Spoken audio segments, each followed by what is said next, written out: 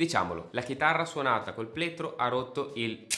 Ma andiamo a cercare un po' le basi scientifiche e filosofiche di questa mia affermazione. In questo video voglio farti vedere quanto in là puoi arrivare suonando la chitarra con le dita, fingerstyle, anziché con il plettro. È idea comune che con il plettro si possa suonare più velocemente, più potente e anche più cose. In realtà è il contrario, perché se impari la tecnica giusta fingerstyle, quella completa, quindi un misto di tecnica classica, acustica, flamenca, latina e anche altre tecniche integrate, raggiungerai dei risultati che neanche ti immagini, sia per quanto riguarda la velocità, la potenza, l'espressione, l'interpretazione e la quantità di musica che puoi suonare. Brevemente, abbiamo il 90% dei generi musicali di chitarra del mondo che sono fatti con le dita e non con il plettro. La maggior parte di questi non può proprio essere fatta col plettro perché bisogna suonare spesso più linee melodiche contemporaneamente o delle tecniche che non puoi fare col plettro, come ad esempio il raschiado o il tremolo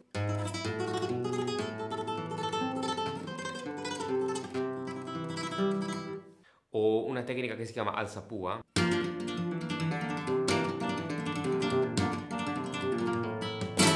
e molte altre tecniche. Ci sono ritmi che non puoi suonare col plettro ma solo con le dita, per esempio la bossa nova.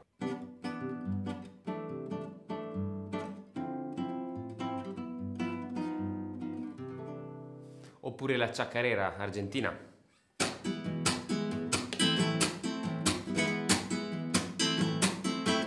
Joropo venezuelano.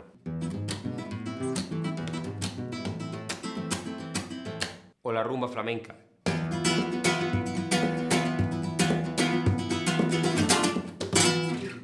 Ciao, sono Simone Moore. Negli ultimi dieci anni ho girato il mondo per imparare, insegnare e suonare chitarra fingerstyle. Insegno tutti gli stili della chitarra fingerstyle a principianti, intermedi e avanzati. Iscriviti subito al mio canale se vuoi imparare la chitarra con me e se vuoi scoprire i miei corsi clicca il link in descrizione.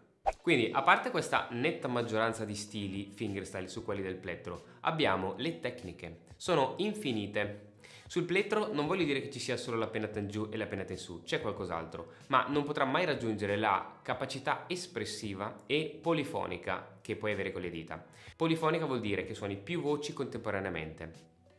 Altro linguaggio che con le dita puoi fare e con il plettro praticamente no, è il linguaggio contrappuntistico. Il contrappunto è la sovrapposizione di più linee melodiche che sono indipendenti tra di loro ma relazionate una con l'altra eh, secondo certe regole che dipendono dallo stile, l'epoca e il linguaggio che si usa. Comunque, a parte queste cose complicate e incomprensibili, voglio mostrarti come convertire molte cose che pensi si possono fare solo col plettro sulla chitarra fingerstyle con le dita perché si può fare tutto e di più. Partiamo da tre categorie principali che io vedo nel, nel, nel suonare la chitarra. Praticamente abbiamo lo strumming, cioè l'accompagnamento, quello, le, le pennate, quindi... Oppure... Quando accompagni le canzoni tipico. Poi abbiamo l'arpeggio che ha le sue diramazioni, quindi...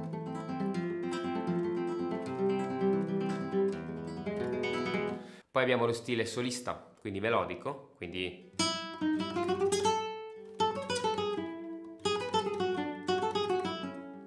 Una nota alla volta sostanzialmente. Queste sono le tre macro aree, ok?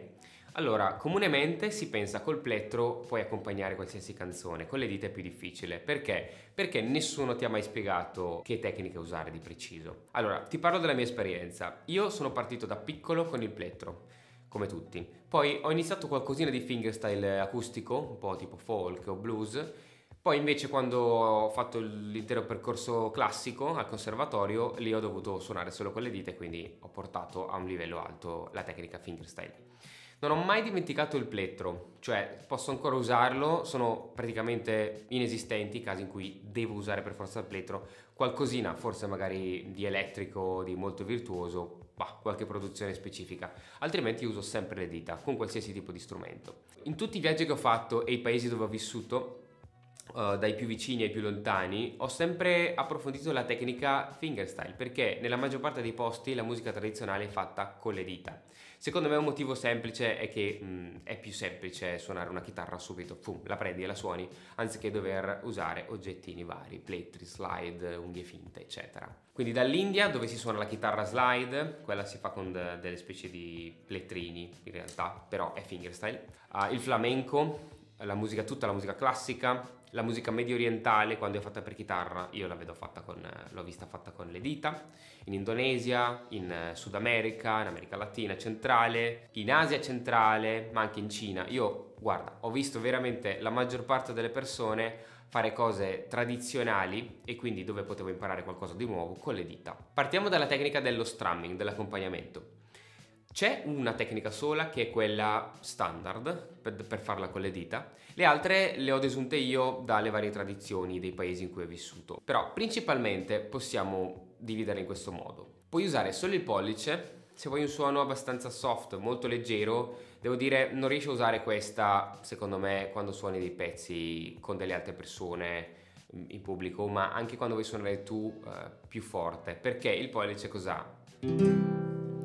si tende a usare la parte morbida del polpastrello e per la pennata in giù prendiamo ad esempio un sol maggiore nessun problema lo appoggi e lo trascini per la pennata in su mm, a volte è un po' più complicato non sai come mettere l'angolo del dito. Così o troppo piatto. Non c'è una vera e propria scuola o tecnica su questo, su questo modo di suonare col pollice. Però puoi provarci cioè cerca la tua angolazione che preferisci se più parallela, più perpendicolare alla chitarra e avrai un suono comunque molto molto molto soft, molto leggero, molto basso di volume anche.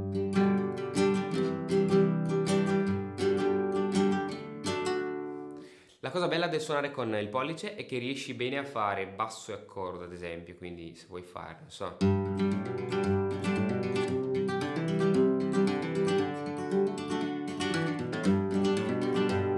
Puoi usarla tipo plettro, però hai più potenza e anche più velocità, perché puoi fare...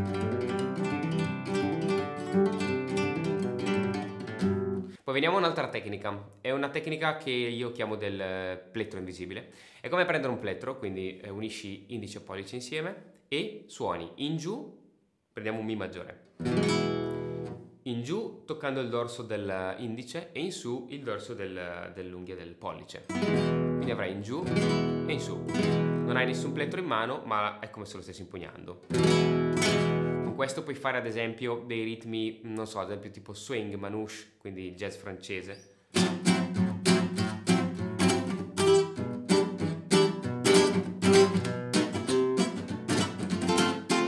O qualsiasi ritmo realmente.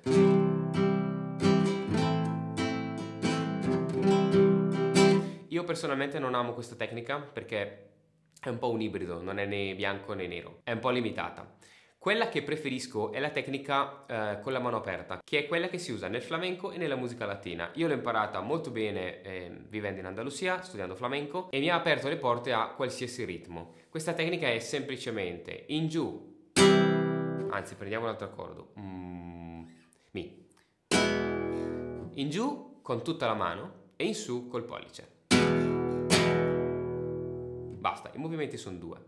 Questa tecnica ti permette di fare qualsiasi ritmo e di arrivare a qualsiasi velocità e di integrarla con le altre tecniche. Per esempio, se noi vogliamo unire un raschiado a un ritmo, come fossero dei fili di batteria per un ritmo di batteria, possiamo farlo semplicemente, guarda.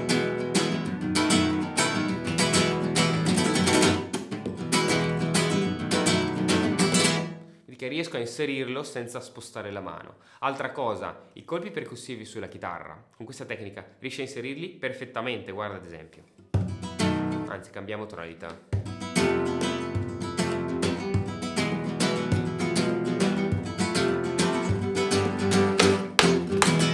Vedi come si inseriscono senza dover spostare l'impostazione del braccio soprattutto.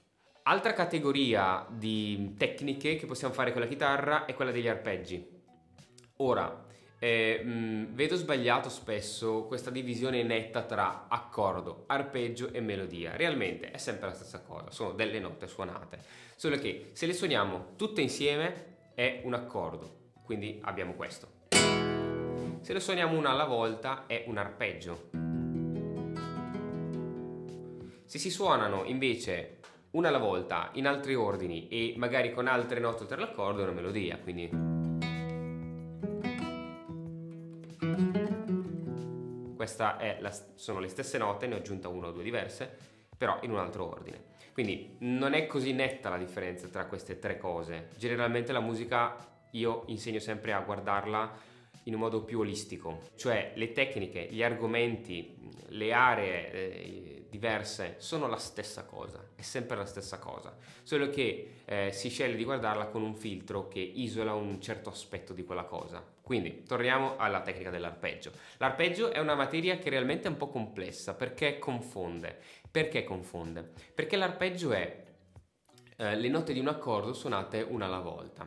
Ma questo vuol dire tutto e niente, cioè per uno che suona uno strumento diverso, come ad esempio il pianoforte o un flauto, un clarinetto, un'arpa, un altro strumento, l'arpeggio è, apprendiamo ad esempio eh, l'arpeggio di, che ne so, eh, Mi maggiore, abbiamo Mi, Sol diesis, Si, poi possiamo farlo ripetuto, possiamo fare Mi, Mi ottava sopra, Sol diesis, Si. Le note sono tre, Mi, Sol diesis, Si, le puoi fare in diversi ordini. Uno che suona uno strumento che non è la chitarra, le prende e le suona. La chitarra può fare gli arpeggi in due modi. Un modo è verticale, l'altro è orizzontale. E questo ci fa sembrare che siano due cose diverse. Il modo verticale, diciamo, è questo. Una nota per corda, ok? Quindi noi abbiamo una nota per corda, ma l'effetto è un arpeggio. Con le dita riesce a raggiungere una velocità che non puoi raggiungere col plettro sui arpeggi. Ad esempio, una cosa del genere col plettro non so chi riesce a farla.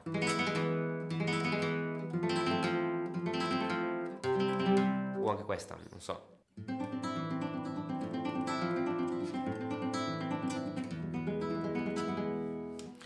Torniamo all'arpeggio. L'arpeggio verticale quindi hai una nota per corda. L'arpeggio orizzontale, per esempio, è così.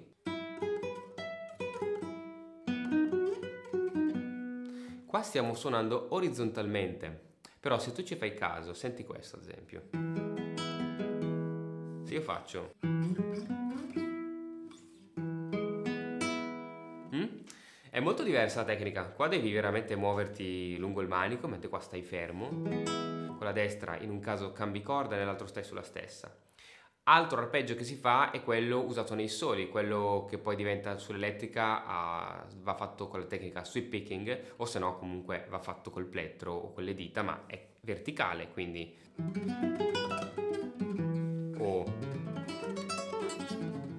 Quindi è un casino l'arpeggio ma con le dita riesci a gestire tutti gli arpeggi, tutte le tecniche a qualsiasi velocità col plettro sei molto molto eh, limitato per terminare, la terza macro area di tecniche è quella della melodia, del solista, quindi una nota per volta.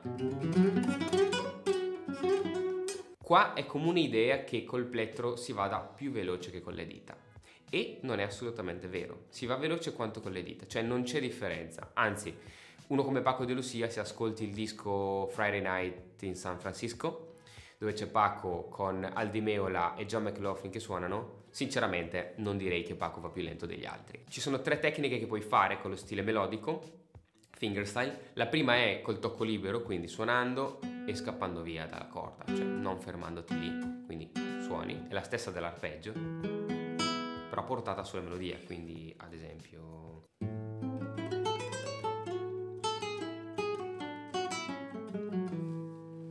Poi abbiamo una tecnica che invece è del tocco appoggiato, quella usata nella classica.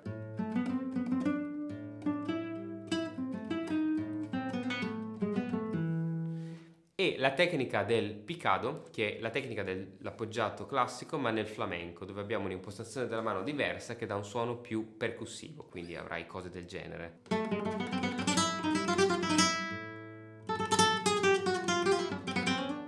Questa tecnica ti permette di andare molto veloce e di suonare fortissimo di volume, cosa che col plettro non riesci a fare perché in velocità col plettro si perde volume.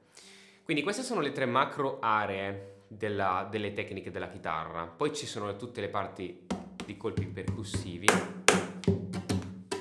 che vabbè quello è creativo ma è comunque standardizzato nel mondo della chitarra flamenca e anche classica. Dove voglio arrivare con questo video? Voglio arrivare a questa cosa, a farti capire che suonare la chitarra con le dita, fingerstyle, ti permette di suonare un sacco di stili, un sacco di tecniche, puoi avere più possibilità espressive e andare sia più veloce che suonare più forte. Quindi tutti i falsi miti che ci sono, le strane credenze sul suonare la chitarra col plettro sono un po' um, passate secondo me, sono un po' di un'altra epoca in cui certo c'era il chitarrista elettrico sul palco che spaccava tutto, però mh, sono cambiati i tempi, il mondo è grande, ormai c'è internet, viaggiamo, i voli low cost, possiamo conoscerci una con l'altra le varie culture e mh, come facciamo a far finta che non esistano tutti questi stili, queste tecniche nel mondo e a non integrarle nel nostro stile? Perché tu non è che devi diventare un finto cinese, un finto spagnolo, un finto colombiano per suonare la loro musica.